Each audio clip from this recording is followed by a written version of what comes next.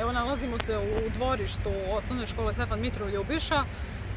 koja je zatvorena, kao i sve ostale škole u našem gradu.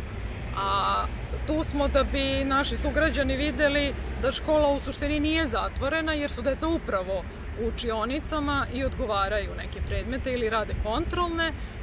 I vi kao roditelj, ja kao roditelj se pitam zbog čega je škola zatvorena, a deca se nalaze u njoj, a drugo zbog čega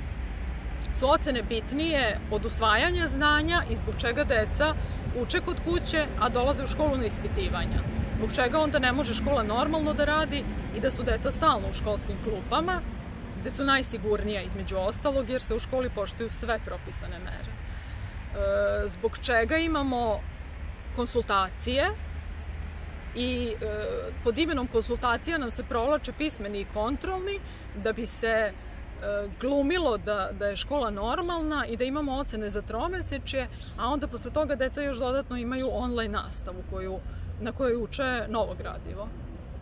Evo upravo neki izlaze i, i žure kući da bi stigli na treninge, da bi stigli da odrade neke druge aktivnosti do nastave online koju imaju posle završene druge smene ispitivanja.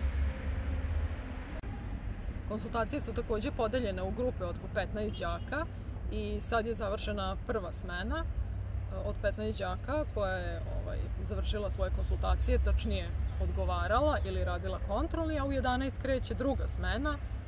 drugih 15 đaka iz istog uteljenja koji opet isto to ovaj, rade, odgovaraju ili rade kontrolni i onda posle toga idu kući da prate online nastavu na televiziji, Google platformama, Google učionicama ili drugim već platformama koje odredi nastavnik, koje opet nisu uh, ujednačene